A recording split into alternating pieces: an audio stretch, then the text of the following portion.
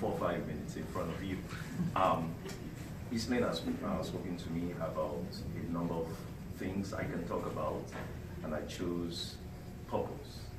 Um, because right now, this is purpose in action. Uh, this is part of the plan of God for our life, and it is being manifested in front of us. And um, so that's why I chose that.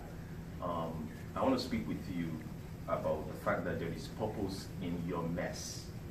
So, in our life, um, there's been some messy stuff, but out of it comes out the purpose of God for our life, right? And for each one of us, uh, whatever mess that may be in your life right now or has been in your life, I want you to know that there is a purpose that God wants to accomplish through that mess.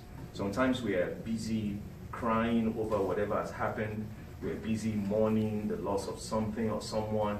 Uh, when actually we need to pause and see what is the purpose that God wants to accomplish through this mess or through this situation that I'm going through. In that mess, number one, you see the power of God in action. You see the fact that He's a provider. You see Him as the comforter.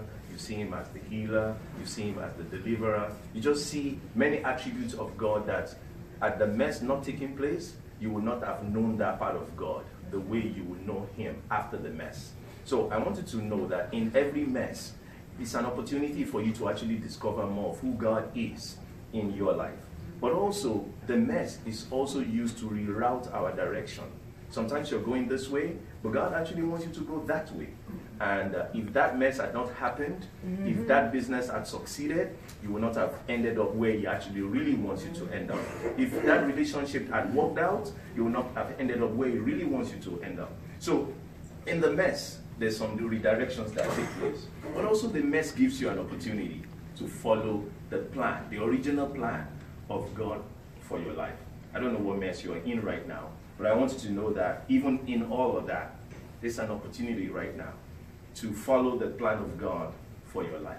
So don't waste the mess. Don't waste the heartache. Don't waste the problem. Because in the middle of the problem, there is a purpose. Now, having said that, obviously there is a purpose for your life, each one of us, because God has a plan for each one of our lives. So, but how do I know that plan? Maybe you're here right now, you're wondering, okay, so I'm hearing about this purpose thing, but how do I know it? Number one, you know it by understanding the passion that you have. What is that thing that you're most passionate about? Oftentimes, your passion is showing you the plan of God, what God wants you to do, Amen. what problem God wants you to solve. Maybe it's passion for children. Yes, you are to help them. Maybe passion for the homeless. Yes, you are the one called to help them. Maybe passion to preach the gospel. You are the one to do it. Whatever your own passion may be, right? That passion is an indication that this is an area that God wants you. But you know, some people may say, well, I don't really know what, what my passion is. Okay, well, where do you produce fruits right now? What is it that when you do it, there's a lot of results? Hmm, that may be an indication of something that God wants you to, to be continue to do. That may be an area that God is calling you.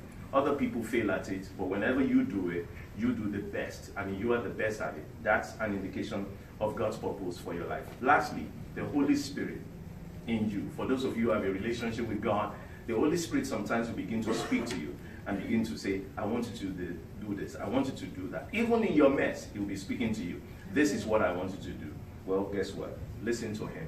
And after you've listened to Him, you have an idea of where you are to go. Set some goals, take some action, get some mentors, but get it done. Let there be a manifestation, such as what we are gathered for right now.